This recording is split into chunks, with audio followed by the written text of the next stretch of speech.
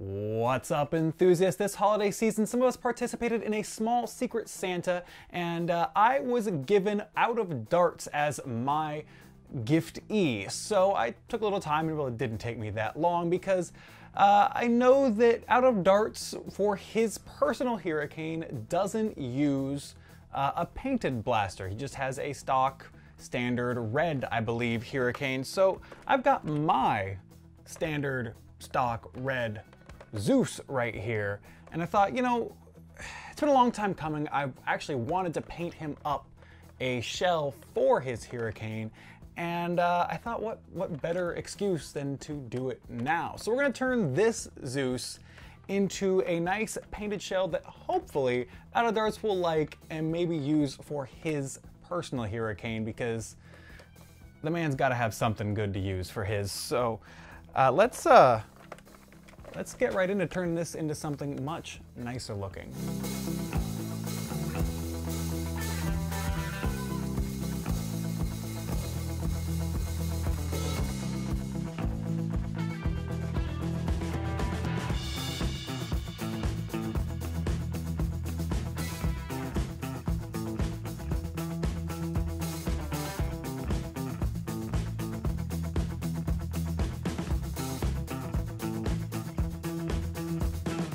This, getting rid of this piece right here has been a nightmare.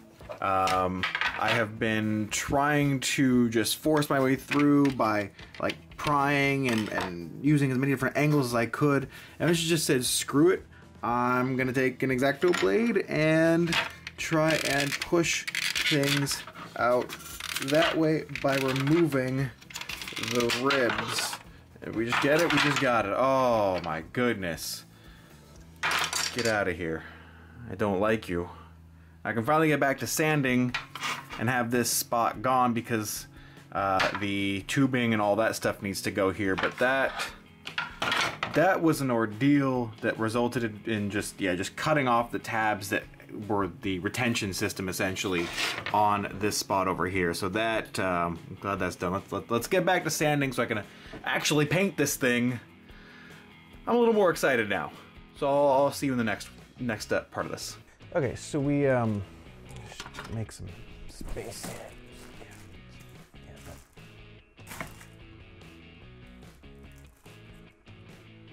So we're done sanding. Uh, kind of done sanding. Unfortunately, with me getting a uh, sinus infection and fever and all that, it kind of put a damper on the week that I had planned to really work on this. And so I've sanded it. I got up to 800 grit, but it's not as smooth as I would normally like this to be. But unfortunately, because of the time constraints on this, I, I, we're just going to have to move forward. And I, I, hate to say that and I hate to do this. And I, I'm so sorry out of darts, but we uh, went ahead and taped up the black portions of this. We're going to leave the black black. Uh, we are going to be painting this white as our kind of base coat to go with. And we're going to be hand painting all of our details. And that's going to be the fun portion hopefully the fun portion, uh, time permitting me to do all the detail work that I had in mind.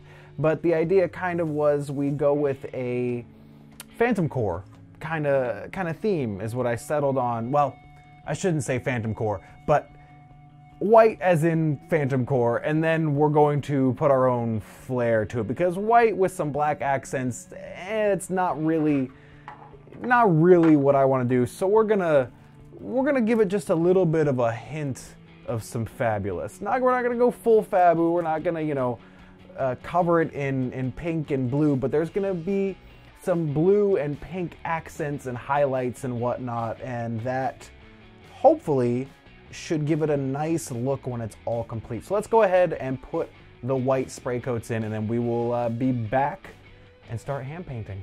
We're back and we are done with spray painting. I hope.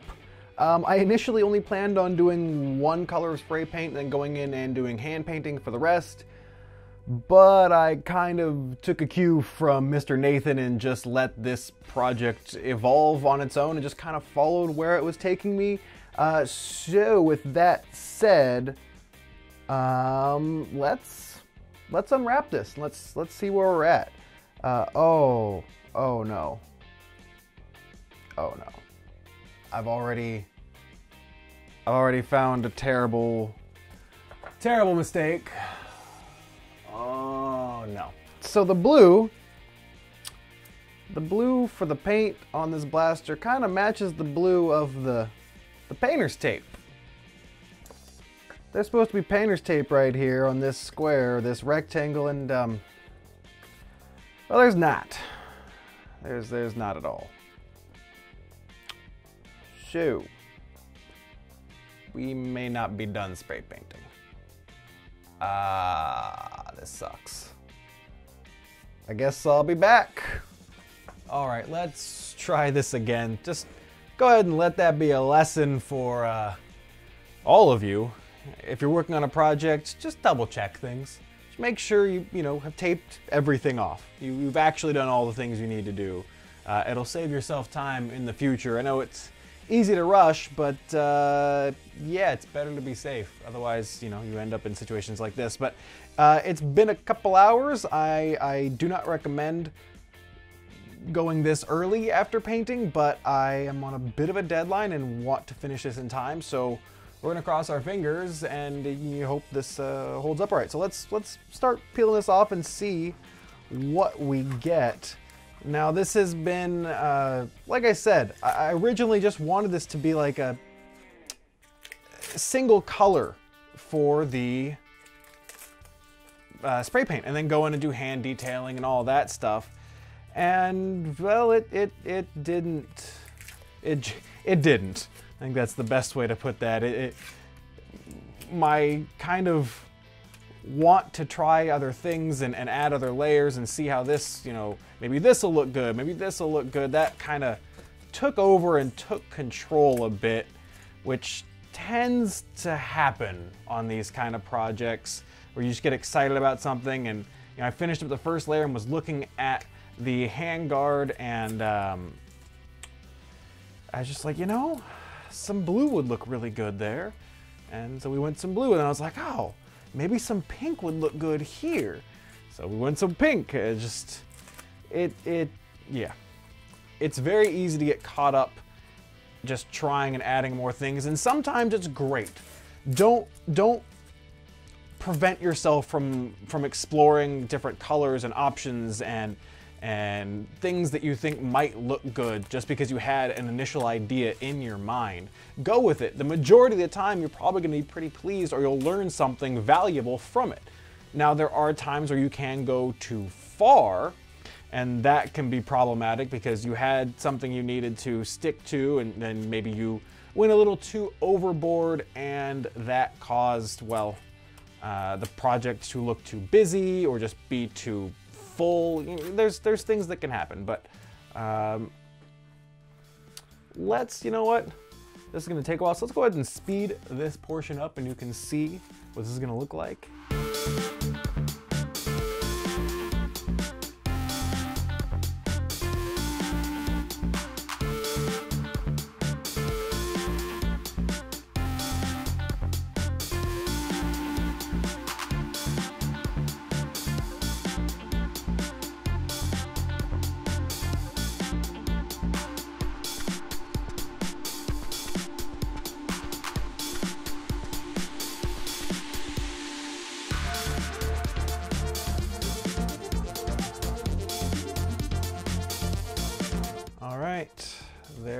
Have it.